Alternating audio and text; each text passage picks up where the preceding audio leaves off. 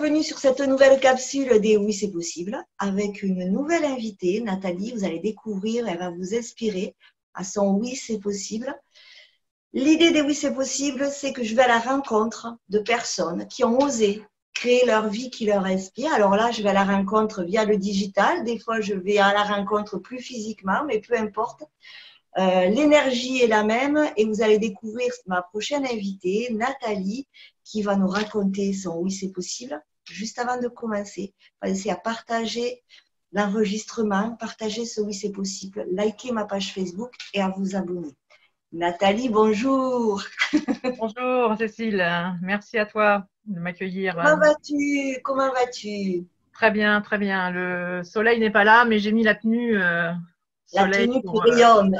Voilà, c'est ça. Alors, pour la petite histoire, avant qu'elle se présente, Nathalie, nous nous sommes croisés il y a quelques années de ça, euh, puisque nous ne sommes pas du tout dans la même région, sur euh, le défi des 100 jours de Lilou Massé, les défis des 100 jours.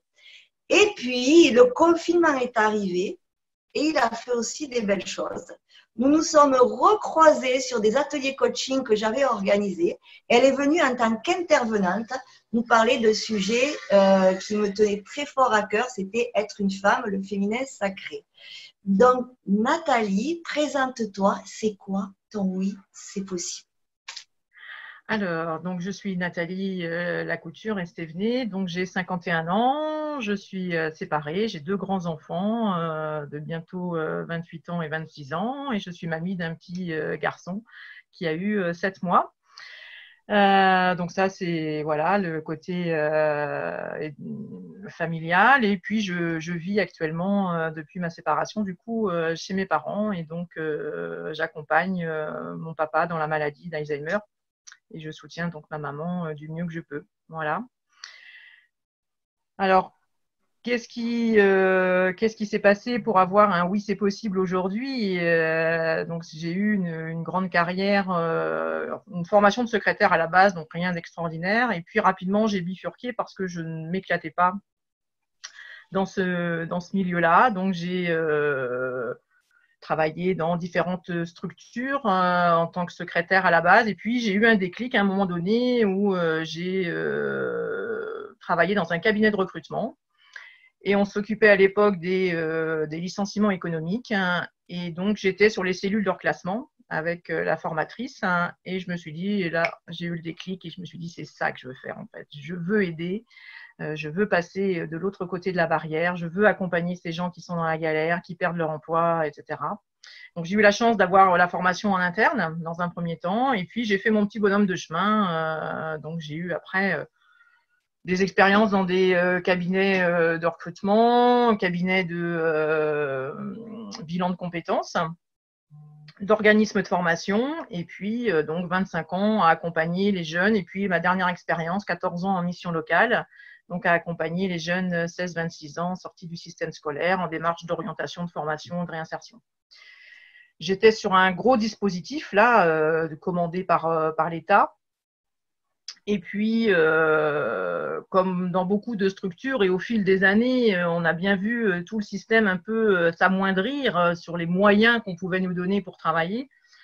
Et donc, j'étais toute seule sur ce, gros dispositif et donc je demandais du soutien, de l'aide, alors de l'aide humaine hein, et puis de l'aide matérielle hein, qu'on m'a promis un certain temps. Donc, je me suis dit, bah, Nat, euh, voilà, faut tenir, il faut y aller, euh, tu n'as pas le choix, tu as tous ces jeunes en face de toi, euh, il faut y aller.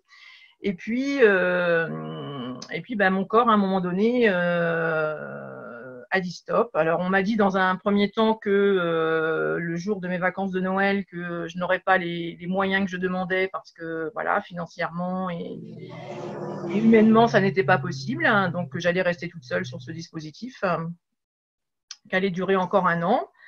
Euh, et le jour où je suis partie en vacances avec cette, euh, cette idée-là, je me suis dit, bah, comment je vais faire quand même euh, Mais mon corps a parlé avant moi, en fait, hein, même si j'ai senti à un moment donné quelques, quelques prémices, quelques alertes. des signes, des signes.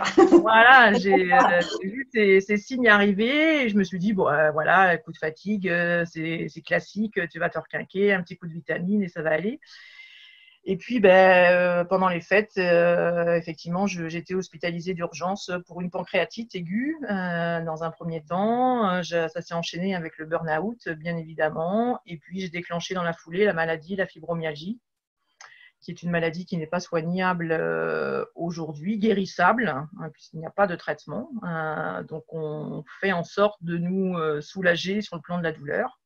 Donc, je Alors, qu'est-ce que par un centre anti-douleur pour les, excuse-moi, mais pour les, pour les personnes qui ne savent pas ce que c'est, tu, tu, tu, c'est au niveau des articulations c'est Alors, sur le plan, euh, effectivement, c'est une, il y a une problématique euh, rapidement. Hein, il y a une problématique au niveau du cerveau hein, qui, euh, en fait, qui commande que et qui génère que de la douleur dans tout le corps. Donc ça se répercute effectivement dans toutes les articulations, sur le plan musculaire, euh, et donc ça bouge au fur et à mesure des journées, et selon effectivement avec des intensités variables. Et c'est quelque chose euh, enfin, qui, qui, a été vraiment infernal les premiers mois, 24 hein, heures sur 24, je dormais plus, je, enfin, je vivais plus, c'était une catastrophe. Euh, et on a mis six mois hein, à peu près, cinq, six mois avant d'avoir le diagnostic. Il a fallu faire tout un tas de recherches, euh, d'examens, euh, passer tout mon corps au, crible pour voir ce qui se passait. Euh, parce qu'au départ, on ne nous croit pas. nous sommes des malades imaginaires. c'est tout dans notre tête. Alors effectivement, ça part de notre cerveau, mais moi j'ai toujours dit, si je suis là, c'est que ça va pas. Sinon, je serai au taf. Il n'y a pas de souci. J'aimais trop ce que je faisais pour le lâcher. Euh, et, donc, du coup, voilà, ça demandait beaucoup de, temps, de voir différents spécialistes à, droite et à gauche euh, pour avoir effectivement ce diagnostic à un moment donné qui est tombé. Il est tombé au mois de mai, donc je suis tombée malade en décembre, hein, et donc il est tombé voilà, au, mois de mai euh, de l'année suivante. Et à partir de là, ben, voilà, on a pu me donner un peu quelques médocs pour me soulager, mais c'était pas, pas ça, évidemment donc j'ai suivi plusieurs divers protocoles. Mon médecin traitant ne connaissait pas la maladie. Euh, c'est moi qui lui ai amené la documentation euh, que j'avais récupérée à l'Association nationale à Paris. Et, euh, du coup, ben après, voilà, j'ai pris la décision d'aller au CHU, voir le centre antidouleur, et c'est à partir de là que voilà, j'ai eu un suivi beaucoup plus précis, pointu, et une prise en charge effectivement. donc il a fallu tester effectivement plein de traitements parce que tout ne marche pas du premier coup, évidemment. Donc bah, aujourd'hui, euh, j'ai supprimé tous les médicaments en tant que tels, hein, puisque je prenais une vingtaine de médicaments par jour, hein, donc c'était quand ah même euh, important hein, pour essayer de soulager euh, au mieux. Donc là, suis, je suis arrivée au patch anti de morphine, donc qui aide quand même bien. Et puis, je devrais essayer là, dans les semaines qui viennent, le cannabis thérapeutique, hein, puisque c'est quelque chose voilà, qui, euh, dont on parle de plus en plus. Euh, donc c'est une évolution là, et j'espère, euh, voilà, parce que les effets secondaires sont, de tous ces traitements sont très lourds. Ça déclenche d'autres maladies, hein, donc la maladie des jambes sans repos, maladie sur les yeux, enfin voilà, j'ai sur les mâchoires. Là, j'ai voilà, donc j'ai des traitements aussi par rapport à ça. Donc voilà, c'est euh, l'apprentissage et la cohabitation euh, avec euh, cette maladie au quotidien. Et, donc, qu'est-ce que tu en as fait de tout ça? Moi, je le sais, mais qu'est-ce que tu en as fait de toutes cette, ces épreuves, ces challenges, ces obstacles, ces douleurs? Qu'est-ce que tu en as fait de ça? Alors, visiblement, tu n'es pas resté dans ton lit et tu non, alors les, premiers mois, les six premiers mois, oui, avec euh, voilà le lit, le fauteuil roulant, euh, etc., parce que c'était pas possible autrement. Euh, avec aussi ben, cet état dépressif, hein, le burn-out, voilà, cette, cette, surcharge avait vraiment poussé, poussé à bout. Donc il y avait tout était emmêlé en fait, et, donc je. C'est quoi le déclic? Le déclic qui t'a dit à un moment donné, oui, c'est possible.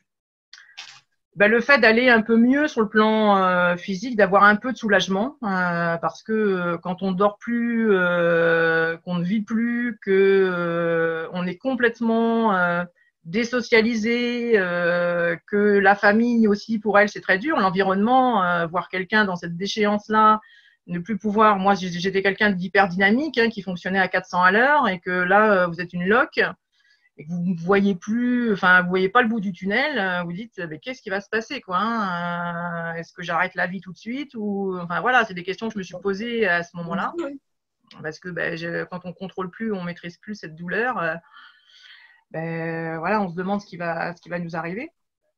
Donc effectivement, ça, à partir du moment où voilà, on, m'a donné un peu d'air euh, sur le plan médical avec, euh, avec des, des médocs, euh, des perfusions, des, enfin voilà, différents traitements, protocoles. Du coup, je me suis dit bon allez, peut-être qu'effectivement c'est pas guérissable, je vais l'avoir toute ma vie certainement, ou par miracle peut-être un traitement apparaîtra d'ici quelques années. Mais, euh, mais, en tous les cas, et ça peut pas être, euh, ça peut pas durer. C'est pas mon tempérament et il faut que je. Donc effectivement, j'ai mis en place tout autour de moi aussi une équipe euh, médicale avec avec le CHU, mais aussi avec des gens extérieurs, avec de la médecine parallèle. complémentaire, complémentaire. Complémentaire, voilà, à la médecine traditionnelle. Euh, sur conseil aussi du, euh, centre antidouleur, hein, parce que quand ils sont impuissants, ils sont obligés de nous dire à un moment donné, allez voir ailleurs, hein, parce que voilà. C'est ça.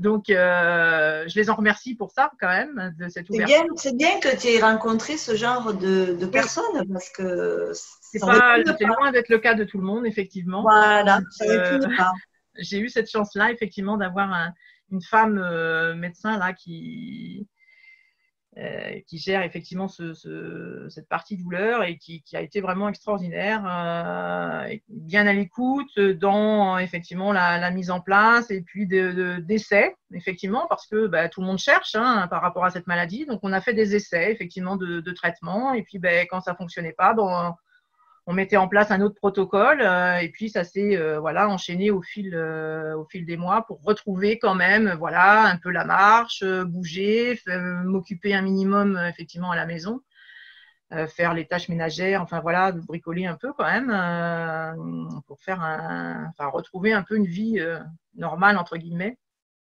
Donc voilà, ça a été le déclic et donc toute cette équipe avec autour a été vraiment très très importante et, je les en remercie euh, aujourd'hui euh, grandement parce que et je les ai encore bien évidemment hein, puisqu'on ne peut pas lâcher comme ça tant qu'il n'y a pas de miracle mais en tous les cas pour un mieux-être et, pour faire ce que je fais aujourd'hui c'est nécessaire. Alors justement, ton oui c'est possible. Alors un de tes oui c'est possible puisque tu pars de la maladie, la transformation et là au niveau professionnel parce que tu travailles. Alors, qu'est-ce que tu fais maintenant puisque tu as transformé tout ça et tu as fait naître quelque chose de euh, voilà, ouais. Alors, raconte-nous ton Nat Énergie. Alors, Nat Énergie, en fait, euh, c'est trois ans, c'est suite à trois ans d'arrêt maladie euh, et d'un licenciement pour inaptitude, hein, une reconnaissance travailleur handicapé, enfin voilà, tout, une invalidité. Euh, et quand on, les médecins m'ont dit, bah, vous ne pouvez plus reprendre votre poste, vous ne pouvez plus travailler, c'est fini pour vous, euh, je me suis dit, waouh, euh, j'ai 50 ans là, enfin, c'est pas possible. je n'ai pas la retraite et je me vois pas rester les mains croisées. donc ça, donc rapidement, en fait, j'ai cogité et une fois que j'ai eu effectivement accepté euh, la maladie, euh, gérer la douleur au, mieux, euh, ben, effectivement, mon cerveau s'est reconnecté un petit peu à, l'activité et je me suis dit, mais qu'est-ce que je peux faire Et puis, j'ai eu effectivement, en allant faire mes soins de médecine complémentaire, j'ai découvert le Reiki. Euh, qui m'a beaucoup euh, aidé dans un premier temps à éliminer euh, des médicaments et voilà avec tous les, les, protocoles. Et puis de me dire ok je me soigne là mais peut-être que je peux soigner aussi d'autres gens. Les autres et du coup avec ma formatrice elle me dit ben, à toi de voir si tu veux passer les niveaux supérieurs pour aller accompagner les gens. Et c'est venu comme ça et je me suis dit mais en fait effectivement travailler pour une structure aujourd'hui, avoir un patron, ça n'est plus possible parce que mes conditions de travail et ma gestion quotidienne de la maladie n'est pas gérable avec un emploi en structure. Il faut absolument que je sois mon propre patron parce que ça ne fonctionnera pas autrement parce que j'ai besoin de ces temps de repos, parce que je sais que si je sais que je, commence à travailler à 15 heures, bah, ça veut dire qu'en amont, il faut que j'ai mangé, pris les aliments nécessaires, que j'ai dormi euh, suffisamment, etc. Parce que les nuits sont quand même mouvementées encore. Donc voilà, il y, a, toute une gestion effectivement à, avoir et je ne peux pas dire à mon employeur, ben, je vais commencer peut-être pas avant 10h, 11h le matin, puis je vais avoir une coupure de 2-3 heures parce qu'il faut que je dors. et puis pouvoir retravailler 2-3 heures après, je pense que là, il va me rigoler au nez et voilà. Donc je me suis dit, il n'y a pas d'autre solution, euh, il faut que je sois mon propre, euh, mon propre patron. Et donc je me suis dit, ben voilà, euh, créer mon auto-entreprise et créer Nat Energy sera la solution pour moi pour les années à venir.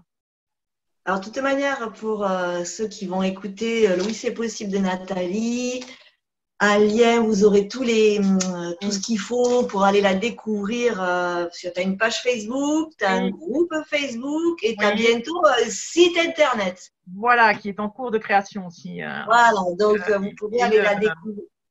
donc, il y a eu voilà, toute une, toute une co-création en fait aussi avec cette équipe, puisque une fois que j'ai eu sorti la tête de l'eau, terminé le travail effectivement sur moi avec les psychologues, psychiatres, etc. J'ai fait le choix de prendre une coach hein, et donc avec cette coach, j'ai évidemment travaillé euh, euh, sur euh, bah, mes blessures, sur tout mon parcours, bien évidemment, les blocages inconscients, etc. Et à un moment donné, elle aussi, elle s'est transformée en, en, coach entrepreneur. Et donc aujourd'hui, elle m'accompagne en tant que coach entrepreneur donc pour le business. Donc c'est vraiment, j'ai eu cette chance vraiment extraordinaire euh, d'avoir aussi euh, fait de nouvelles rencontres hein, sur ce chemin. Euh, à la création de Naténergie et une collaboration aussi avec ma fille qui travaille avec moi sur toute la partie technique. Hein.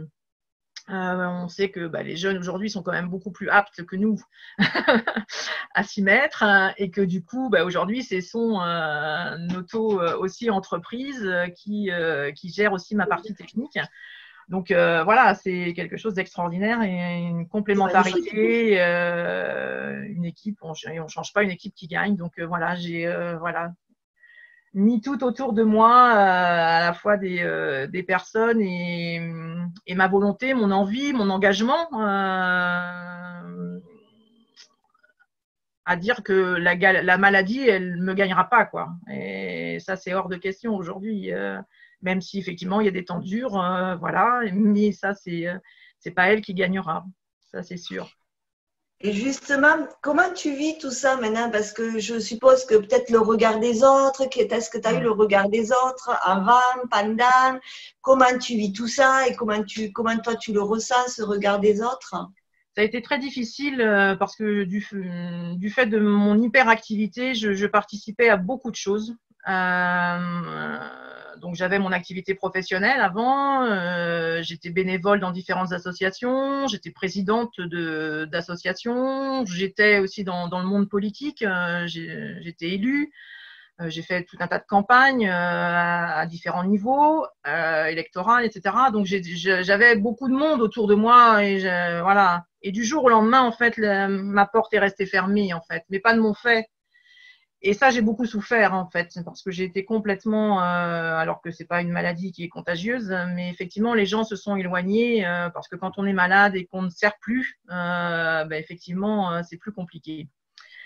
Donc ça, ça a été une, période très difficile, mais qui m'a permis de comprendre effectivement qui étaient les personnes sur lesquelles je pouvais compter. Donc effectivement, quand on parle d'amis ou quand on parle de, gens importants ou même de nos propres euh, personne de notre famille. Hein. C'est effectivement sur qui je peux compter aujourd'hui, quoi, hein, dans cette galère euh, infernale.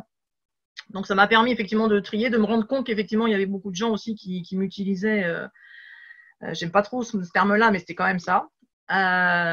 et du coup, ça m'a voilà, permis de prendre de la hauteur, du détachement, de me dire, ben voilà, maintenant, il faut que tu te concentres et que tu te recentres sur toi. C'est toi qui es au centre, hein, c'est toi qui es au milieu là, et c'est à toi de jouer et c'est pas aux autres. Euh, et que le regard des autres aujourd'hui, euh, c'est Nat Energy, c'est un peu un pied de nez en fait. aussi, euh, je me dis parce que ben voilà, j'espère qu'il me voit et qu'il me voit évoluer au sein de Nat Energy lors de vidéos, de live, de tout ce que je, l'activité que je peux faire, parce que c'est avec le cœur que j'ai fait tout ça. Voilà, ça part de là. là. C'est là. Voilà, c'est avec mes tripes, euh, effectivement. Et, et ça, c'est vraiment important, oui. Pardon. Ah ben non, alors attends, t'es coach, non? T'es dit vas-y, vas-y, c'est ça qui est beau, c'est ça que j'adore. Alors des fois vous me faites pleurer aussi, hein Ou alors je pleure après, moi, quand je, après la, après la pression. Combien de fois quand je sors de, des oui c'est possible, je, je, verse ma larme parce que c'est vous m'apportez tellement dans ces oui c'est possible que c'est vraiment un échange énorme et, euh, et non pas que j'adore voir les gens pleurer, mais j'adore.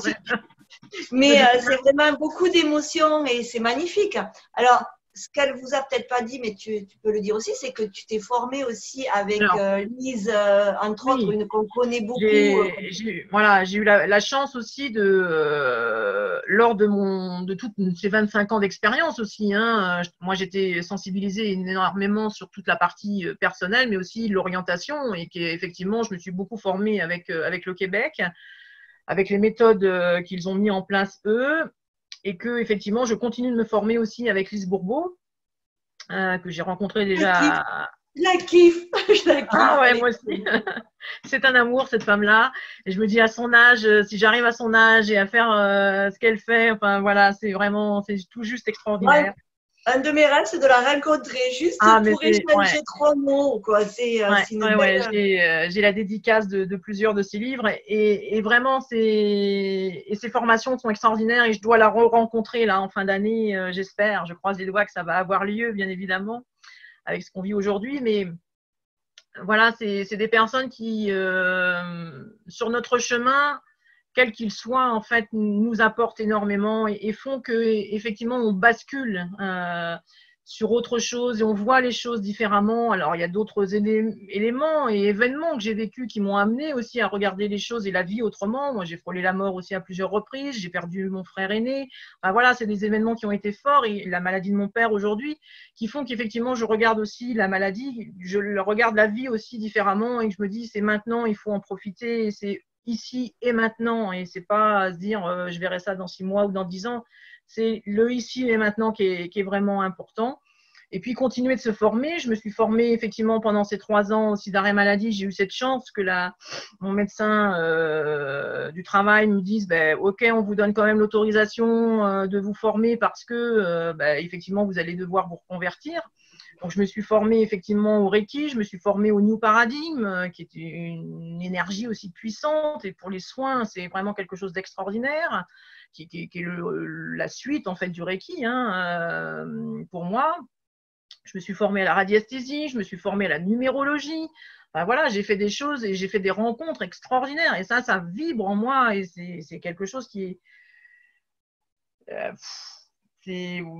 comment je pourrais dire, il n'y a pas de mots et c'est vraiment tellement fort hein, en moi et ancré en moi que voilà, je remercie tous ces gens-là et d'avoir croisé. Euh, mais il n'y avait jamais de hasard non plus à la fois, on le dit très souvent. Il n'y a pas de hasard à ce, qui, à ce qui se passe comme ça. Donc effectivement, la maladie contre qui j'étais en colère, au début, c'était cette injustice. Pourquoi moi? Pourquoi ça m'arrive maintenant? Qu'est-ce qui se passe? Pourquoi je ne mérite pas ça? J'ai jamais fait de mal à personne. Qu'est-ce qui, pourquoi on m'inflige autant de souffrance?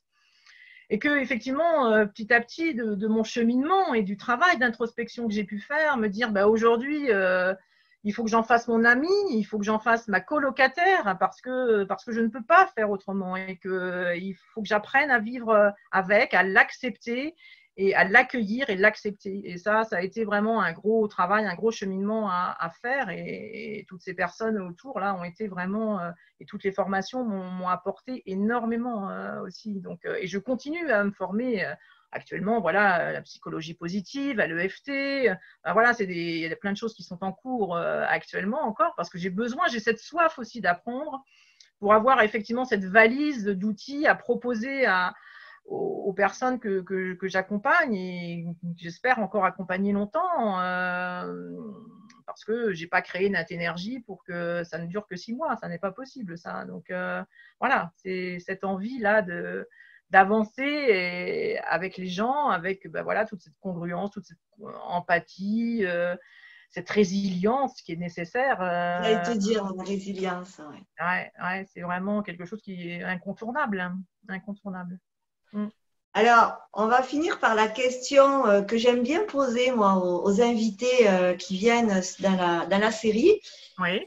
Qu'est-ce que tu dirais aux personnes qui vont t'écouter là, maintenant, par rapport à oser créer leur vie qui les inspire Qu'est-ce que tu leur dirais s'ils n'osent pas, s'ils doutent, si, euh, déjà se recentrer, penser à soi, et ce n'est pas être égoïste que de penser à soi. Euh, moi, j'ai effectivement, depuis 25 ans, j'ai toujours voulu aider les autres, mais avant d'aider les autres, il faut s'aider soi-même. Et ça, c'est vraiment une dimension aussi qui est hyper importante. Euh, donc déjà, se centrer sur soi, s'occuper de soi, prendre soin de soi, euh, alors de sa santé, mais aussi de son image, de, tout, euh, de tout ce que ça, comporte, de, son état d'être. Euh, donc ça, c'est déjà une première priorité, je pense, pour moi aujourd'hui, que je n'avais pas forcément perçue avant, puisque je n'étais pas forcément au centre. donc ça, je pense que c'est vraiment quelque chose d'hyper important. Ensuite, il y a effectivement oser, euh, oser faire les choses. Il n'y a pas euh, et de prendre aussi. Euh, alors, on n'a pas toujours conscience de ça. Hein. Je, parlais de, l'énergétique encore hier à, quelqu'un et il me dit mais on n'a pas ces connaissances-là. On ne sait pas ce que c'est cette médecine-là. chakra, mais c'est quoi les chakras? De d'où vous sortez ça? Enfin voilà, c'était vraiment, c'était de la grande découverte. Et je me dis, ben voilà, c'est apprendre aussi à se connaître et dans, alors se connaître dans tous les sens du terme, c'est-à-dire euh, connaître euh, sa personnalité. On apprend toujours sur soi parce qu'avec les expériences, on apprend. On se dit pas, euh, je, je, réagirai toujours de la même manière. Ça n'est pas le cas du tout. et c'est aussi se connaître, connaître ses limites, connaître parce qu'effectivement, on a tous des limites. alors, on les, quand on les connaît pas, ben, il nous arrive ce qui nous arrive.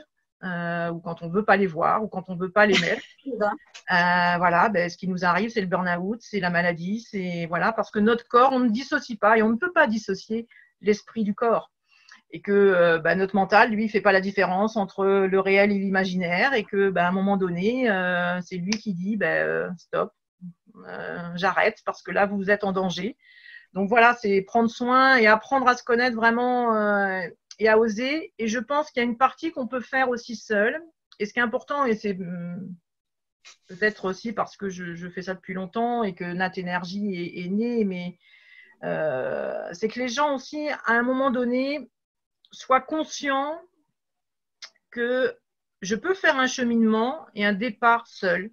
Je peux travailler sur moi euh, seul. Aujourd'hui, on a l'accès à, à, Internet, on peut lire des tas de livres euh, de développement mhm. personnel et c'est extraordinaire. Sauf qu'à un moment donné, euh, eh bien, on n'avance plus.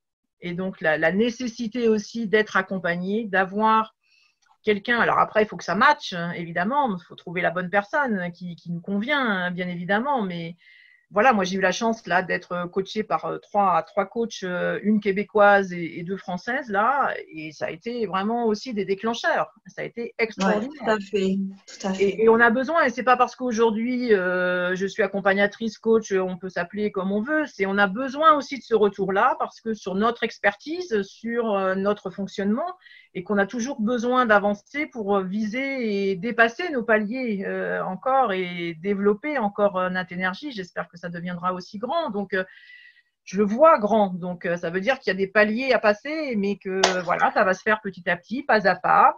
Qu'on ne peut pas changer du jour au lendemain, ça se fait avec le temps. Donc, il faut aussi accepter cette notion de temps qui n'est pas toujours facile parce qu'on voudrait que demain matin euh, ce soit tout réglé, mais non, ça c'est pas possible. Euh, moi, je vois déjà le temps que j'ai mis à émerger, à gérer la maladie, trois ans d'arrêt euh, avant de effectivement de me dire allez, maintenant voilà, tu, tu, te sens à peu près prête, tu vas mieux, donc c'est le, le, moment, vas-y. Se jeter à l'eau aussi à un moment donné et passer à l'action. Si vous ne passez pas à l'action, si on ne passe pas à l'action à un moment donné, ben, il ne se passera rien bien évidemment, et qu'on peut être que le seul acteur de sa vie, euh, qu'il n'y a personne d'autre qui le fera à notre place. Donc ça, je pense aussi, c'est quelque chose d'important. Euh, et qu'on a du pouvoir que sur nous et pas sur les autres. Euh, les autres, ils peuvent rien pour nous. Ils peuvent pas nous sauver, d'une part. ils peuvent nous aider, nous accompagner, bien évidemment, mais ils peuvent pas nous aider. Nous sauver. Et du coup, c'est aussi de prendre cette mesure, cette taille-là, euh, à bras le corps et de se dire, allez, euh, c'est moi là et, j'ai toute cette possibilité et, ces challenges hein, aussi, de me dire, allez, euh, voilà, tu as, cette chance-là, saisis-la, saisis-la et, tu l'as créée, ben vas-y. Maintenant, continue sur cette voie-là. Donc voilà, c'est apprendre à bien se connaître, se mettre en action, prendre conscience qu'effectivement, euh, il faut euh, être au centre avec ici et maintenant, euh, et puis bien sûr apprendre à lâcher prise sur un certain nombre de choses. Parce que quand on est dans le burn-out, c'est qu'on a été trop contrôlante à un moment donné, donc il faut lâcher plein de choses. Donc j'ai dû lâcher plein de choses déjà toutes mes activités que j'avais, euh, professionnelles et extra-professionnelles. Euh, j'ai mis le compteur à zéro, euh, parce, dans l'obligation, bien évidemment, mais voilà, ça s'est fait comme ça. Et je me dis, mais en fait, c'est du bonheur aujourd'hui aussi, parce que je, je, fais autre chose et autrement. c'est ça. je autrement. se réinventer finalement. C'est ça, tout à fait. Donc c'est une nouvelle Nathalie, effectivement, qui, qui ressort aujourd'hui. Et depuis ces décembre, 19 décembre, où j'ai créé Nat Énergie, c'est une renaissance effectivement, renaissance personnelle, une renaissance sur le plan euh, physique, purement médical là, et me dire bon ben voilà, je, tiens le bon bout, je sais que j'aurai encore des moments difficiles, euh, mais voilà, ça, le challenge est, là et j'ai envie de le, jouer et d'y aller euh, et d'aller jusqu'au bout. Donc ouais, c'est magique. Merci, merci Nathalie, merci. Tu vois, là, c'est là que moi, à ce moment-là, je, tu vois, là, c'est là que les émotions montent. Hein, parce que c'est souvent sur le final que ça se passe pour moi. Donc, euh, vraiment, merci. Merci, d'avoir été présente euh, à la série pour inspirer les autres. C'est votre série. Je l'ai créée, mais c'est votre série. Elle est là pour vous et pour euh, tous ceux qui peuvent y contribuer chacun à leur façon. Mm. Et euh, vraiment, merci, euh, merci de ton témoignage qui est très fort. Oui, ouais, très, fort, et... Mm. et... oui, c'est possible. Tout est possible. Oui, c'est possible. Ne l'oubliez pas. Oui, c'est possible. Il y aura d'autres capsules d'autres invités qui vont vous le dire, qui vont vous le redire, qui vont, qui vont vous dire mais oui, si vous pouvez, parce que si on y arrive, nous, les autres peuvent y arriver. Il n'y a pas, je suis trop vieux, trop jeune, trop pas assez d'argent, pas assez de ah ceci, pas assez. Créons d'abord, mettons-nous en action. Et après, ça, ça ira. Il y aura des moments peut-être euh, peut-être down, des moments peut-être plus up. Hmm. Mais ça fait partie de la vie et vous en avez la preuve avec Nathalie. Je pense que là, c'est une belle source d'inspiration. Nous, on se retrouve sur une prochaine capsule. Nathalie, vraiment, gratitude. Merci, gratitude, à toi aussi. Moi, je te fais plein de bisous. nous, on va se retrouver sur d'autres sur d'autres moments, j'en suis certaine. Maintenant, on ne se lâche plus. Je vous, fais des, je vous dis à très, très bientôt. Et puis, n'oubliez pas que oui, c'est possible. Au revoir, Nathalie. Au revoir et merci à vous. Merci à toi.